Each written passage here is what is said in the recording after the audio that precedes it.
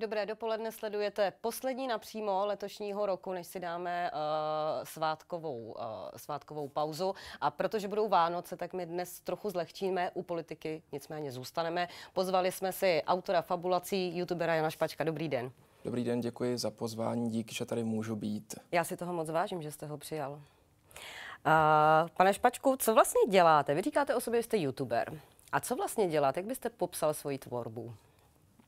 Možná uh, správně o sebe říkáme, jsem youtuber, ale chtěl bych říct, že předně jsem člověk, jako každý jiný, a tudíž v podstatě se setkávám s lidmi, trávím s nimi čas a je to velmi příjemné. Tak bych popsal svoji úlohu. Ti lidé jsou ale politici, což je vlastně takové netypické. Jak mhm. byste popsal tu tvorbu, ta videa, vlastně, která s nimi tvoříte, točíte? Taková přátelská, lidská, citlivá, možná i někdy intimní setkání s lidmi, kteří, kteří jsou mi blízcí. A politici jsou mi blízcí. A jak byste popsal sám sebe jako autora?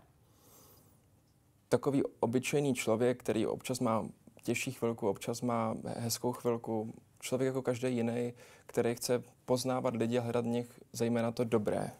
Vlastně. Což se hodí i k těm vánočním časům, které tady spolu teď zažíváme. Pojďme se v tuto chvíli eh, představit eh, vaši, eh, vaši tvorbu skrze následující sestřih fabulací.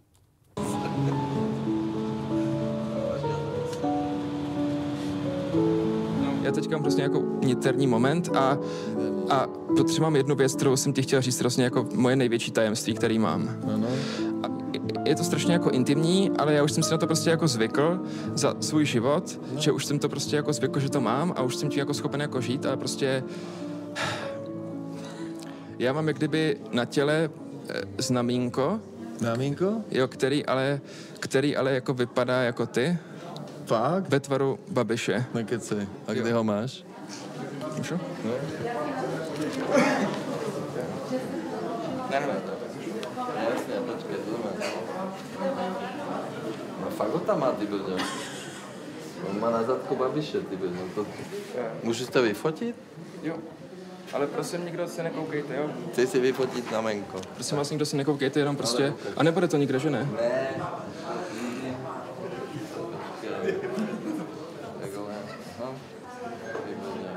Počkej, ale tam ještě máš nějakou... Jo, když tak to tam...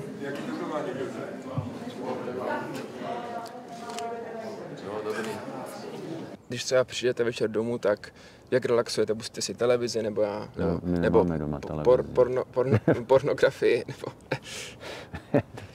to si nepouštím uh, uh, jenom občas. Co, ne. pardon, cože? Uh, televizi. Počkat, jsem zpátky te- televizi, televizi. Ne, ne, ne, ne. televizi ne, ne, ne, zpátky kote. Netflix, Netflix, Netflix. Tak jedu, pozor, ne. Jedu, jedu Netflix. Tak pozor. uh, já nejsem nějaký prostě Jarda, Jarda prostě, který se nechá takhle lehce obalamotit. No. Vy se díváte na pornografii? No tak, eh, který chlap se někdy jde podíval na pornografii? Uh, takže odpověď je ano. Odpověď je, že který chlap Takže vy se díváte na, na pornografii, vy sledujete porno. Nesleduju. Sledovat je pravidelně. Ale viděl jste ho někdy? Viděl, no. Bohužel, bohužel už hodně brzo. To je vtip teď? Ne, to není vtip. Já nevím, jak se mám cítit. A kdy naposledy jste viděl pornografii? Kdy naposledy? Eh, no, to si nepamatuju. Ale už jsem ji viděl.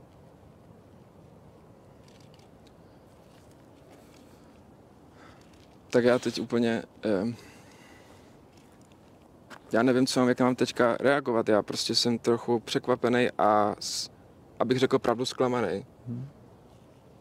Protože já nevím, vy, který jste byl prostě můj životní vzor a, a, a kandidát na prezidenta a teďka se osím takovou straš... Eh, vy se díváte na pornografii. Já jsem na, pe, na péčko, na péčko. Chápete to? Prostě já nevím, já prostě nejsem asi připravený mít takového prezidenta, prostě. No, dnes. Omlouvám se, ale prostě já... Asi jste teďka přišel o jeden hlas, Marku. Nedá se nic dělat. No dá se, něco spíš nedělat, že? A měla bys cítit takový mravenčení mm-hmm. trošku v rukách. Mm-hmm. No, tak to jsem nevěděla. Vidíte, člověk se pořád učí. A jde vám to? Zkoušíte? Mm.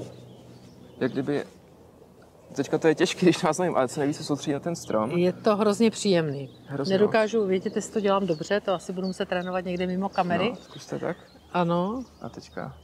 ano, Jo, jo, jo. A soustředit se.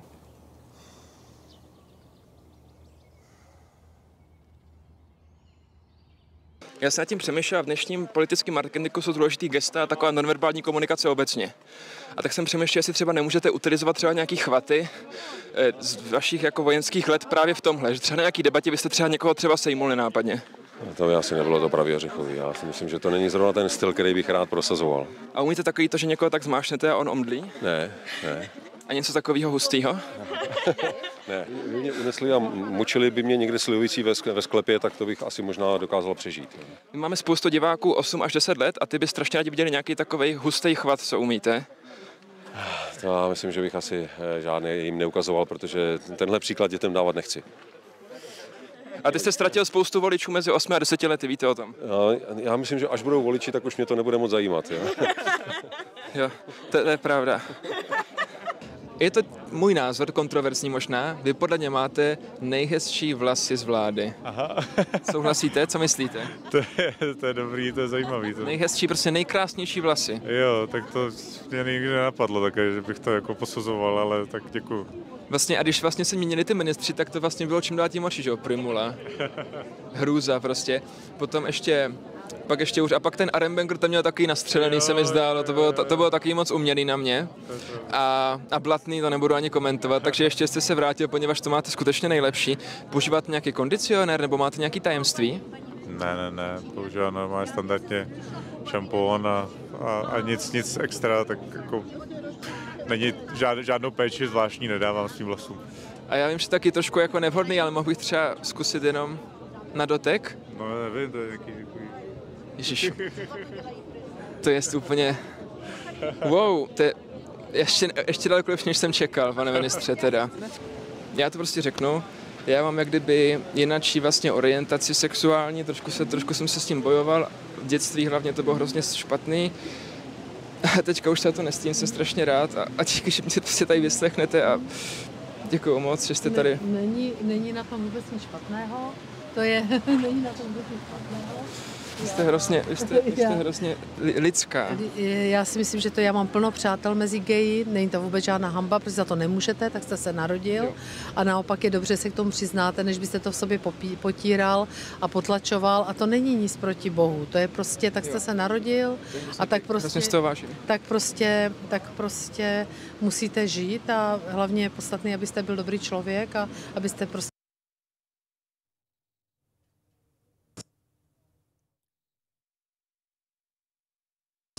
pomáhal ostatním a to si myslím, že je nejdůležitější. Já nejsem jak kdyby gay, ale, ale, ale a vaše nějaké tajemství, co byste nám prostě, může to být klidně něco takového spíš. Tak já nemám takovéhoto druhu tajemství žádné. Napřímo viděli jsme se střih fabulací a jejich autor Jan Špaček je dnes s námi ve studiu. Jak vás napadl tenhle ten formát, že toto vlastně nikdo v Česku nedělá? Eh, Já už od jak živa mám rád politiku, a, a, ale mám taky rád lidi a naštěstí v té politice spo- pohybuje spoustu lidí, kteří s váma uh, z nějakého důvodu chtějí trávit čas. A je to v podstatě hrozně jednoduché, vy to možná jako znáte jako známá eh, novinářka politická, která dělá rozhovory s řadou politiků, ale oni ti politici strašně rádi jako mluví s lidma, tráví s nima čas a chodí třeba na nějaký jako veřejný akce s ostatníma a vždycky tam se všema zdraví a to je mi blízký a to je třeba něco, co mi v osobním životě vždycky trochu chybělo. A inspiroval jste se někde pro ta videa, pro ten formát? Tak obecně mám nějaký jako uh, inspirace, uh, možná úplně ne jako přímý, ale takový jako obecný životní. Mám rád třeba Viral Brothers, protože vlastně mi ukázali, kam až je možné jako zajít, nejenom jako youtuber, ale i jako člověk. A to mě hrozně inspiruje, kam vlastně může člověk až zajít. Vlastně někdy mám pocit, že už trošku překročili hranici jako vědění a jestli snad trošku jako neriskujou, že budou třeba vymazáni z povrchu zemského za to takovej. Ale to už jsou takový jenom moje třeba nějaký strachy niterný. A často jsem slyšela uh, paralelu mezi vámi a Sašou Kohenem. Jste český Saša Kohen? Já nevím, já myslím, že on, to je strašně zajímavý na uh, Sašovi Koenovi, že on jako vypadá jako takový truhlík, jako, ale ve skutečnosti je vlastně hrozně jako pohlednej a, a, a až, jako, taky. až jako sexy. A to právě nevím, jestli já jsem, jo, jako fakt. Mhm. Tak budu nad tím od dneška přemýšlet, děkuju. Vy jste to nevěděl do té doby? Máte, Ne- máte mi. zrcadlo doma? Mám, mám, nepřišlo mi, ale je fakt, že když dneska mě pa, paní Maskerka připravovala na dnešní vysílání, tak jsem se tak jako na sebe mrknul za až trošku se zalíbením, až mě to překvapilo. Tak vidíte, to je dal- další důvod nad tím přemýšlet trošku. A jak na vás reagují politici? Teď už třeba ví vlastně, jak vypadá vaše tvorba, takže možná asi se na to nedá úplně připravit, ale aspoň vědí třeba, že to nebude úplně typický rozhovor. Mm. A jak na to reagovali v prvopočátku?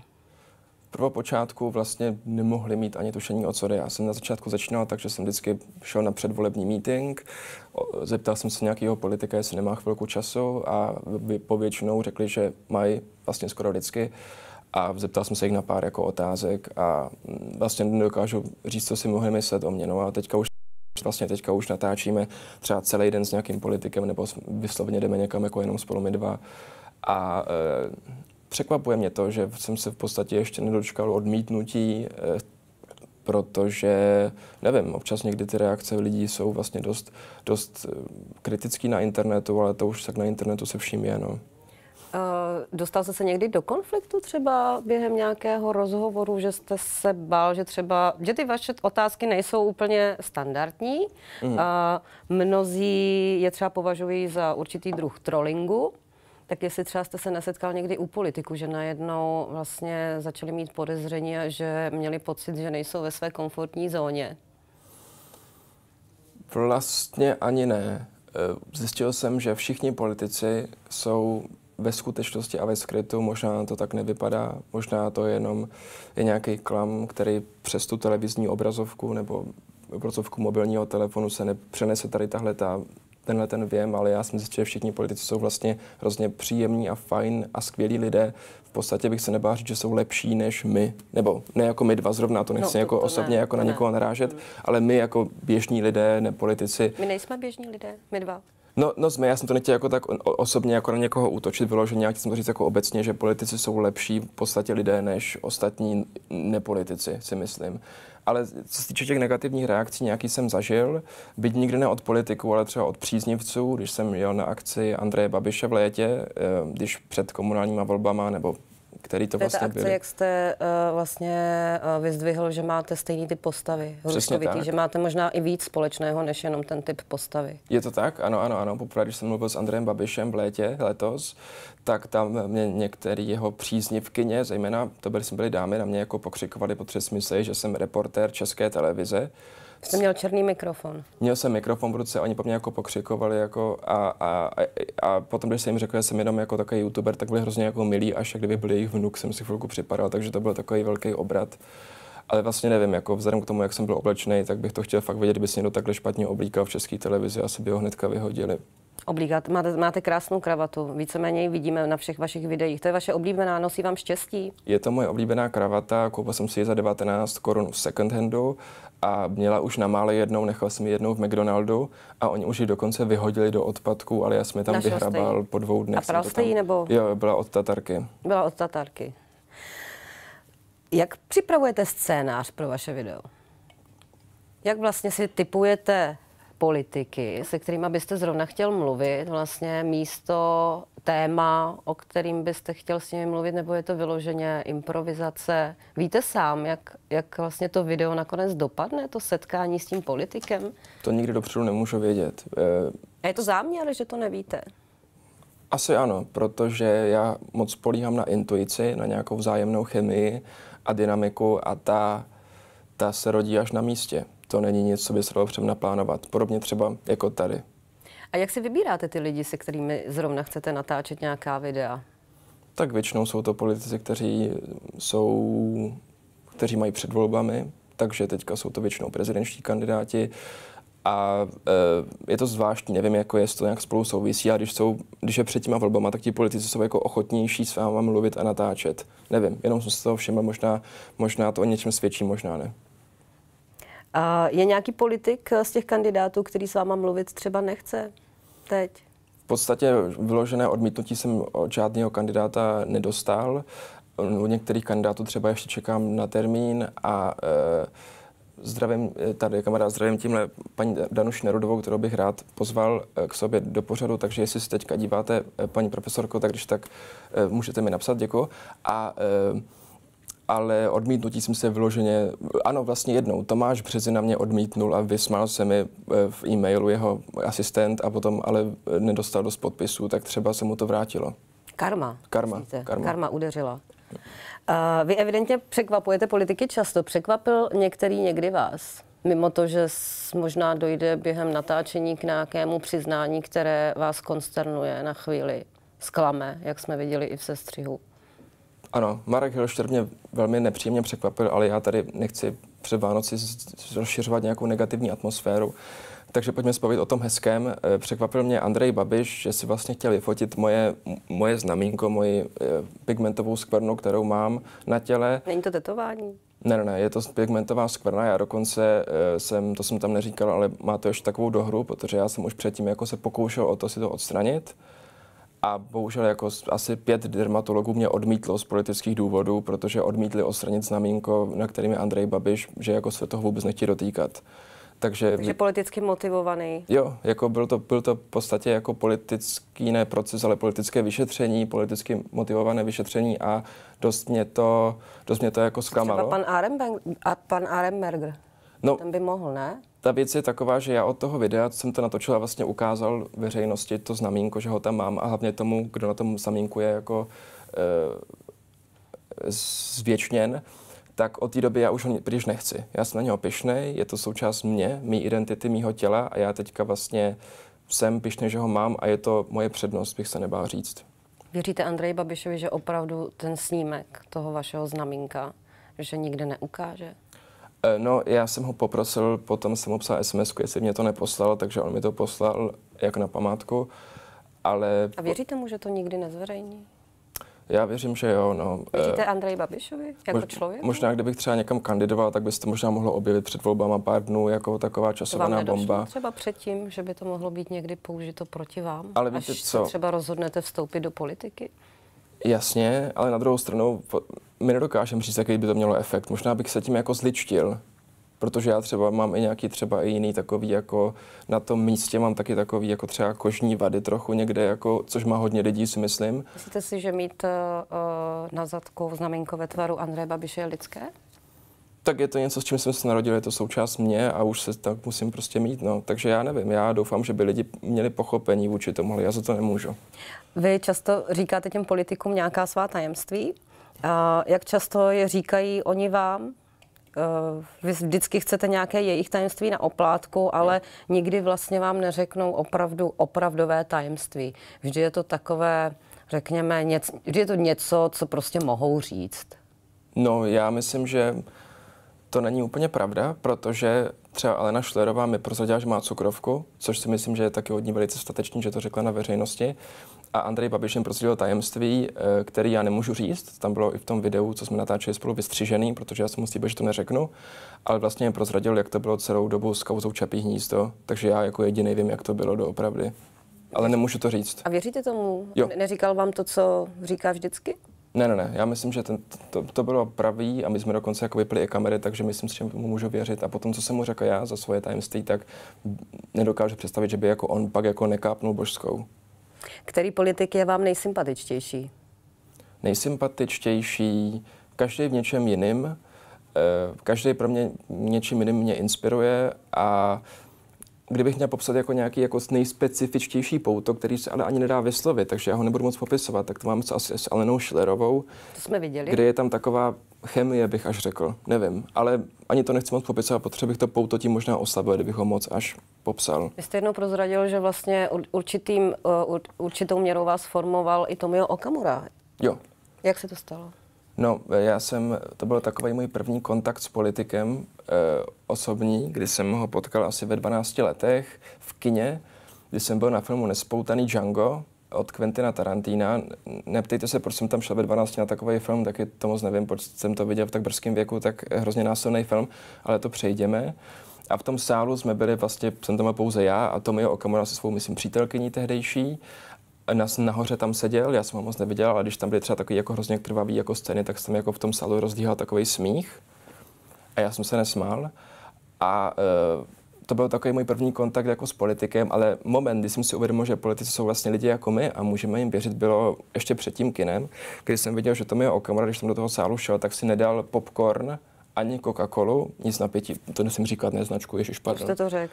Uh, nedal si nic, ani šumivý nápoj, uh, hnědé barvy a uh, nedal si žádný, žádný ob, zpět. To mi Okamura si nedal žádný občerstvení. Nepřinesl si své vlastní? Ani si nepřine, to nevím, možná něco měl tajně v kapse, ale každopádně já uh, jsem pochopil, že on je vlastně jako já, protože já jsem si taky nedal občerstvení, protože oba dva víme, že ty občerstvení jsou strašně předražený a že ta kola stojí prostě, ta, to pití eh, hnědý stojí 100 korun v tom kině a normálně stojí 30 korun, což je fakt nehoráznost a to jsem si pochopil, ten člověk je jako já, on přemýšlí logicky, ekonomicky a ví, jak to je.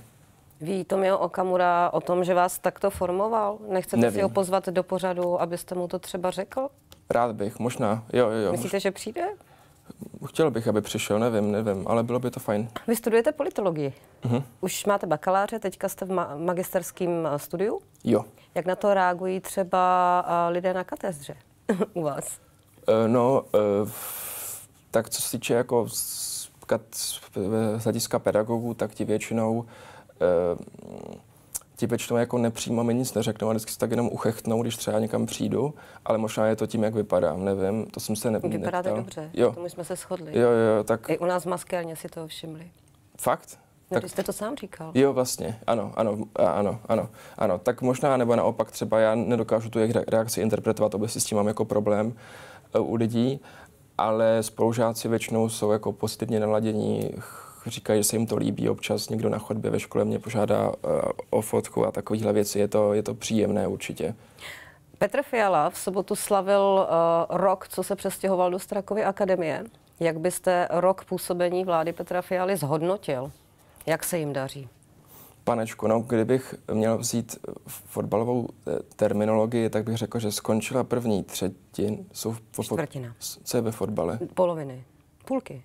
Ve, fotbale jsou poloviny? Hokej jsou třetiny. Uh, no, ptáte se ženský, ale já myslím, že 45-45, jako, že jsou dvě půlky. Já vůbec fotbal nesleduju, takže vlastně nevím. A uh, rozhočí dal modrou kartu. Jaký jsou karty barvy? Žlutý a červený. Jo, tak rozhočí dal žlutou žlutý kartu třeba. rovná se jedna červená. Ale ptáte Fakt? se ženský. No já si, nevím, myslím si to. Byste mohla uvádět klidně i sport, myslím. Já si myslím, že bych mohla dělat bylo... spoustu já jsem velice uh, všestranně založený člověk. Jo, uh, tak můžeme dělat, že se tady ta otázka nestala, protože jsem se do toho tak strašně zamotal. Dobře. Uh, sledujete komunální politiku?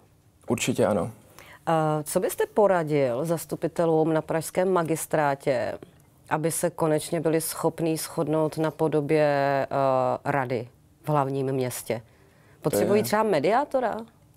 To je určitě palčivý velký problém a mě ve školce vždycky učili, že pokud někdo se chce usmířit, když byla třeba nějaká hádka ve školce spor, tak mě vždycky říkali, že se mají jak kdyby omluvit navzájem a pak se jako pohladit, jako tak třeba přes rameno. Myslíte si, že se málo objímají praští zastupitelé? Že kdyby tam bylo více lásky a pohlazení, že by ta jednání mohla vypadat jinak? Já myslím, že já bych to obecně doporučil všem, tohletu, tohletu formu eh, kompromisu, pohladit se, omluvit se a e, obecně i v politice bych vlastně doporučil, kdyby ti politici občas jako si víc tak jako sami své pustili k tělu navzájem a řekli si prostě, pojďme teďka, pojďme, dejme si tady, chytněme se tak společně a řekněme si, Báro, Andrej, Petře, Markéto, Mariane, Tomio, pojďme pro tu zemi teďka něco udělat, takhle se chytneme za ruce, pojďme společně teďka za tu naši Českou republiku, zemičku,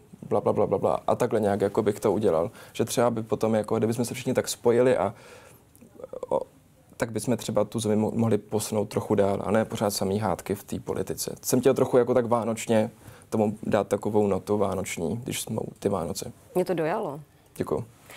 Jaké další video máte v plánu? Chtěl bych se vrhnout na, eh, ne myšleno, jako myšleno obrazně, eh, na, na všechny favority prezidentských voleb, takže další video, který vydáme někdy po Vánocích, zřejmě bude s Petrem Pavlem.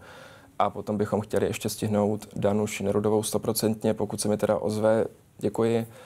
A, eh, a ještě možná nějaký další prezidentský kandidáty, kteří tam, kteří tam jsou, uvidíme, ale většinu z nich už máme. Moc díky, že jste byl naším dnešním hostem. Moc si toho vážím. Opravdu si toho moc vážím a já mám pro vás dárek tady. Pane Koskáka. Protože budou Vánoce, tak tady já sbírám čtyři lístky, tak tady je jeden pro vás. A potom ještě, prosím vás, já se hrozně omlouvám, ale jsem si všimla, že máte špinavé brýle, tak tady máte ještě ubrousek. Wow. Je výborný, fakt se tím ty brýle výborně vyčistí. Můžete to zkusit rovnou. Děkuji. Tak tohle nebylo ve scénáři. Nebylo. Je to moje autentická reakce. Já moc děkuji za čtyřlístek a přeji také vám, Báro, i divákům TNCZ krásné svátky, pokud možno v rodinném kruhu, šťastné a veselého Ježíška, eh, bohatého Ježíška se říká a eh, Lásku a pohlazení.